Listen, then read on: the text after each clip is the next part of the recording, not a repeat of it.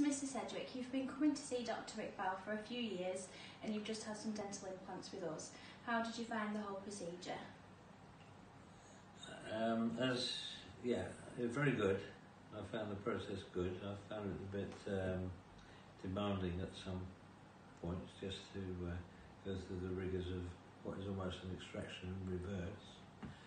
But uh, apart from that, it's uh, been fine. The, the process ran very well organised and uh, timely. And on a whole, what difference does it make to your life?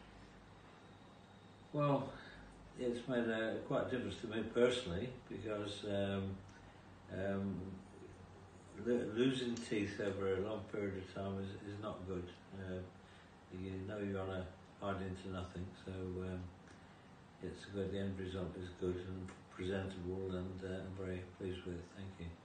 And would you recommend us to other people? I certainly would.